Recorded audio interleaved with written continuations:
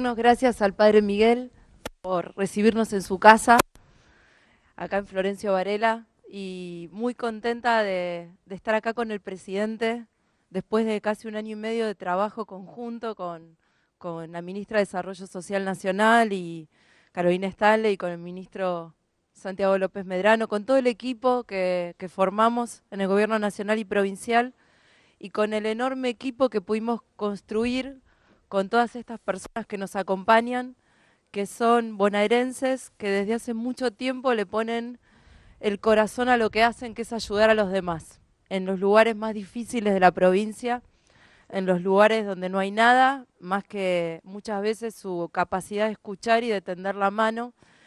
Y con Mauricio siempre creímos en estas personas, en toda la Argentina, primero en la ciudad de Buenos Aires, ahora en la provincia, que hacen algo por los demás sin esperar nada a cambio, solamente porque creen que uno siempre recibe más de lo que da. Y lo fuimos descubriendo también en la provincia de Buenos Aires, como en algún momento lo hicimos en la ciudad, y decidimos apoyarlos, decidimos trabajar en conjunto. Por eso me gusta mucho el nombre de Casas del Encuentro, porque son casas donde nos encontramos, donde se encuentra el Estado, donde se encuentran las organizaciones de la sociedad civil que trabajan por los demás y nos encontramos con la gente que lo necesita y nos escuchamos y desde ahí construimos qué es lo que el barrio necesita y cómo podemos trabajar mejor juntos.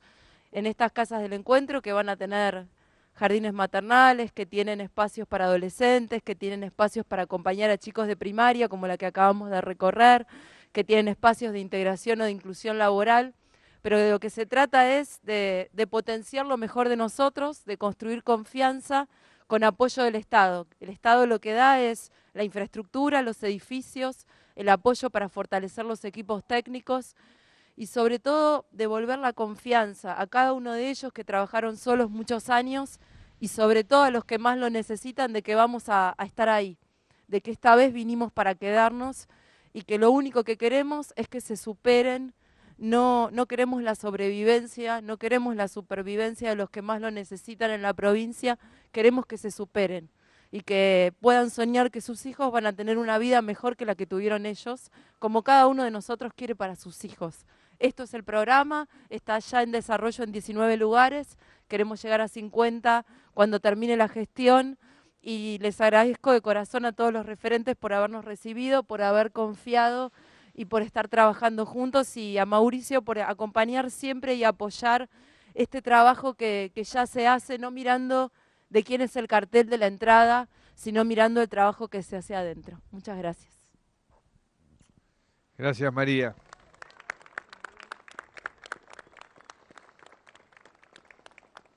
Ah, usás boina San Paulino, ¿no te había visto una boina? Eh, muy bien. Cura Gaucho. Bueno, yo agradecerles también, agradecerles que nos hayan recibido, Miguel, en tu casa, con tanto afecto a todos ustedes que nos han compartido sus historias, la realidad de cada uno de los barrios donde ustedes trabajan, hace tantos años, ¿no? Todos decían 20, 30, 15. Es un tiempo largo de, compromiso, de integración.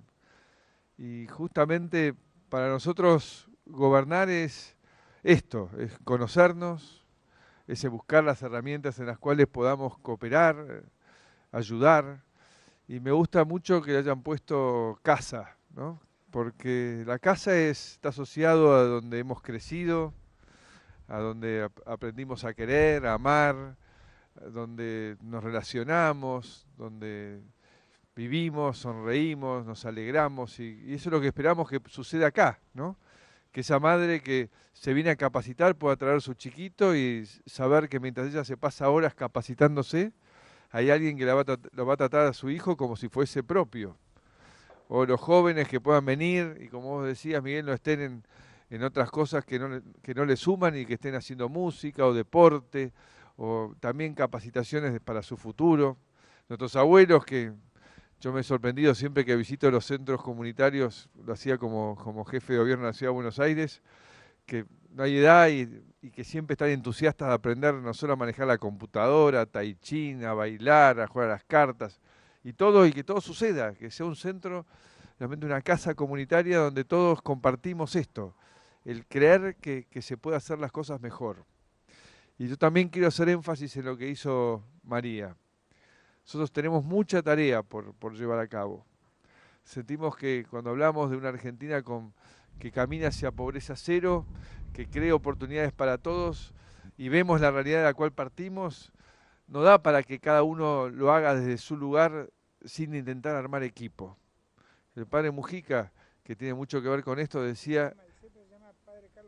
Exactamente, él decía, hay que trabajar juntos. Y eso es lo que nosotros sentimos, que si trabajamos juntos, si los apoyamos a ustedes con esa, con esa historia que tienen de tantos años de reconocimiento, de compromiso, y como vos planteabas, tenemos continuidad, porque como muy bien vos me planteaste, pero vamos a tener continuidad. Sí, tenemos que tener continuidad, porque no podemos frustrar más a ningún argentino, no podemos generar una expectativa que después no, no, no, se verifique en la realidad de todos los días. Porque como decía María Eugenia, no estamos acá para lograr la supervivencia de aquellos que están en la pobreza, estamos acá para tratar de liberarlos, de darle las herramientas para que ellos puedan crecer, porque ellos no son pobres, están pobres. Y nosotros tenemos que arrimarles esas herramientas que le permitan a ellos, a partir de su propio trabajo, de su propio esfuerzo, salir adelante. Y así van a lograr lo que todos queremos cuando estamos en este mundo, que es ser felices.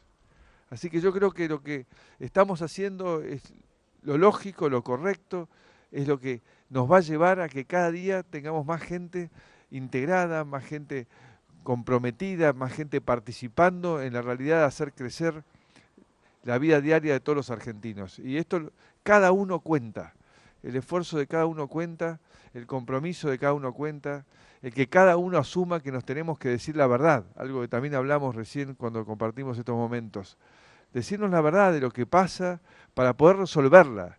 Y en eso también hay un eje fundamental de en todo esto que lo hemos compartido hablando con los líderes de estas organizaciones sociales, que es la mejora de la calidad de la educación pública.